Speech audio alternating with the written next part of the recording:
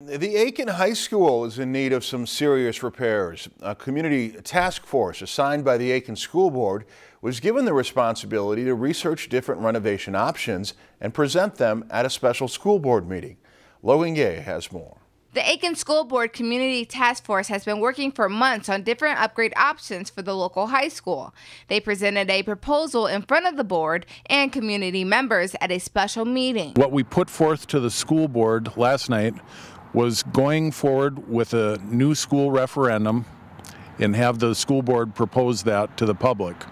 If that fails, we would come back as a group and propose a remodel and addition as another option. Because of the location of the building, there is very little space for the school to expand, and it's in need of extensive repairs.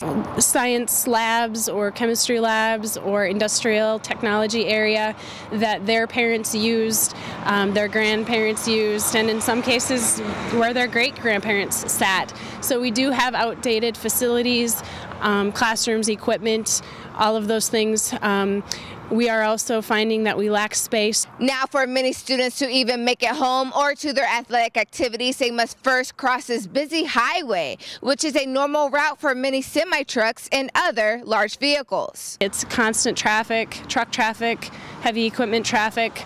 Um, the beginning and the end of the school day are very busy for students crossing this street. The upgrades to the school have the potential to affect more than just the students. In order to attract that good talent, the doctors, nurses, professionals, we have to compete with our neighboring communities who have invested. The task force is hoping that this will be a positive experience for everyone. In Aitkin, Logan Gay, Lakeland News. The task force plans to meet again on April 18th. If you've enjoyed this segment of Lakeland News, please consider making a tax-deductible contribution to Lakeland Public Television.